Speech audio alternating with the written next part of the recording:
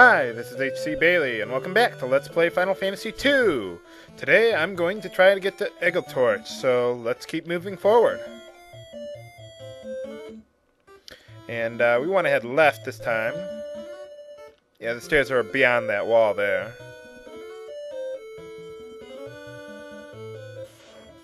That's just an empty room, so you want to head down next.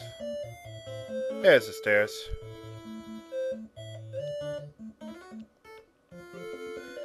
And that path up to the left leads to another empty room, so we'll go to the right. We don't want to get that chest yet. I'm going to come back around to that eventually. Pass that up. And that room is not empty. There's a few treasure chests in there, so I want to get those.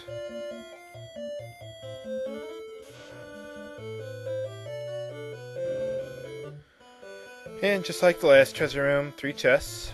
Same formation. Echo screen. Antidote.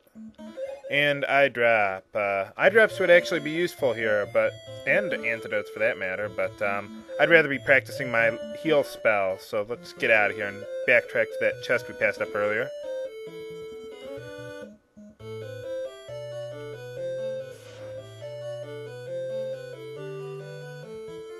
Now the reason I backtracked here is because next I want to take the lower path to uh, where I'm going next. So there's some new enemies in here. Uh, yeah, our HP is good. So let's get them. Gold armor. But there's some new monsters inside. Oh, whew. fortunately, not too many of them. A lot of times uh, you can run into like five of those mines, and they're just irritating to try to beat because they have very high physical defense. So, um, easiest way to beat them: use fire.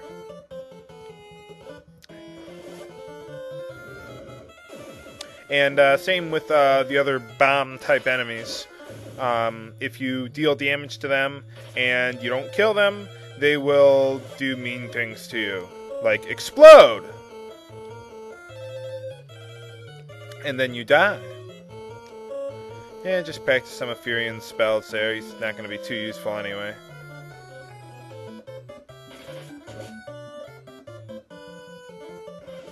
There we go. Now, why you use fires to defuse bombs, I don't know. But that's the way it works in these games. And uh, that gold armor is a heavy piece of armor, so we don't want to use that. So now we just gotta get the Egil Torch. That's all that's left.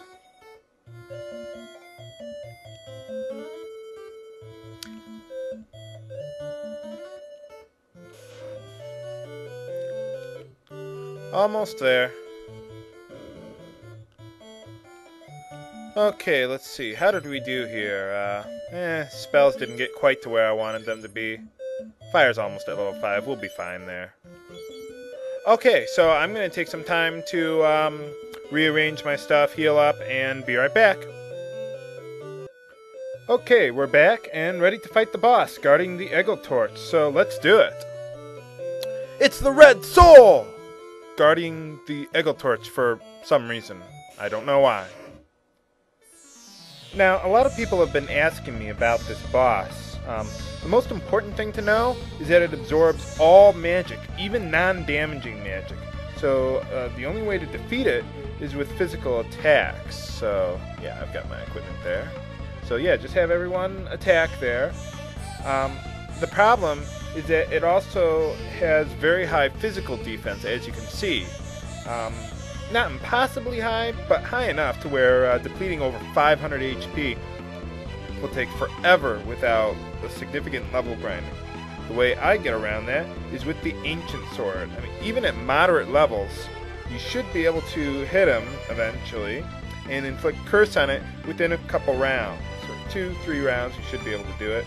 Once you've done that, you'll be able to defeat it easily with your physical attacks. Alright, we got it. So yeah, now it even uh, weakens his spells a little bit too. See, before it was dealing like 30, 40 damage. Now he's dealing less than 20. So, although I'll probably want Firion to uh, cast Cure in the next round anyway.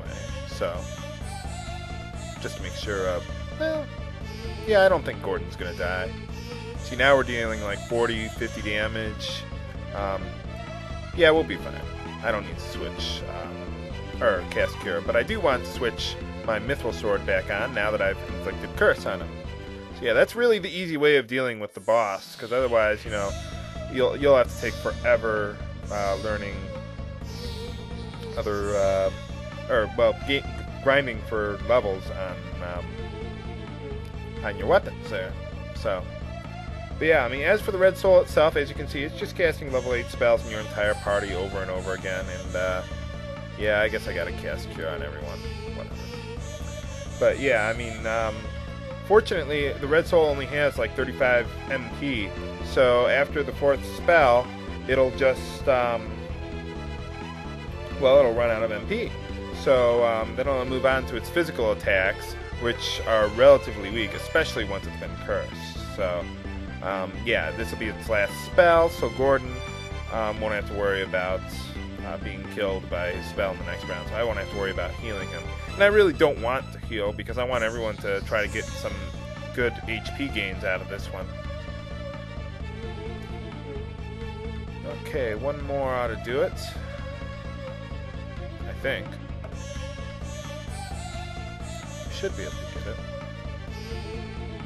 But yeah, it's pretty easy from here now that we've inflicted curse on him. That's really the secret to beating this boss so easily. Yeah, trying to kill it 10 HP at a time. Not my idea of a good time. Yay! We got him. And you gain some H HP, gain some HP, gain some HP, and yay, everyone gained some HP. Alright. So I'm going to take a moment to uh, restore my HP in case I get into a random encounter before getting that Egil Torch, and I will be right back. Okay, actually, I uh, changed my mind. I uh, I actually just uh, I want to save the rest of Firion's MP because um, yeah, I'm gonna have to cast exit to get out of here. I'm gonna want to cure him after that. So let's just get the Egil Torch. Yay! So now we can destroy the warship, right? Not so fast. Let's cast exit to get out of here. Heal him up so that I don't get killed. We gotta do something with the Egil Torch, remember? We have to beat some monsters over the head with it who are interrupting my LP. Okay, now we have to go inside and light the torch. How do you do that? Just do this. Yay! So now the Sunflame is gone, but we have it. So yeah, uh, there it is. So yeah, I'm just going to set that down there because I don't want it taking up my space up here. So well, I didn't even have to use those others. So let's see, that's about all I can do here. So let's get out of here.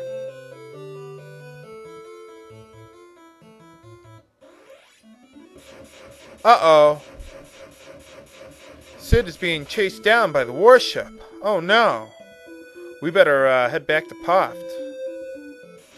Now, normally I'd just flash back to Poft, but there is one thing I want to show you. Remember that guy who told you about that uh, Chocobo's Grove just south of Kashuon? Let's take a look. Let's see, how do we get a Chocobo? Where are you? Let's see, Cho there it is. What? Where'd it go? There it is. Oh, well, that was easy. Sorry, I was gonna try and chase him around and entertain you guys, but uh, I caught him too quickly. Oh well. So, uh, well, I caught a cho- I caught the chocobo. What the hell? Well, actually, the way chocobos work in this game is you catch it, then you have to leave the chocobo's forest, and then hop on. Hope you don't get rudely interrupted. So there you are. And now it functions just like you know chocobos normally do in other Final Fantasy games. You uh, can't run into random encounters, and you can just uh, ride them all the way back to wherever you want to go. And this is about as far as uh, the Chocobo's theme goes in this game. Not too much to it. See what happened to Sid. Let's find out.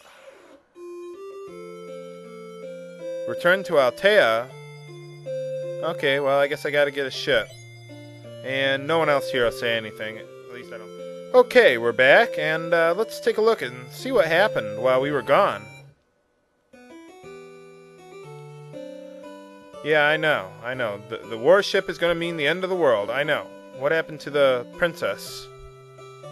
Empire supply come north of Fynn. Hmm. We ought to check that out. Destroy the warship, save save the princess. Uh-oh. The Empire captured the princess. We have to rescue her. Oh, okay, so now Sid and Hilda have been captured by them.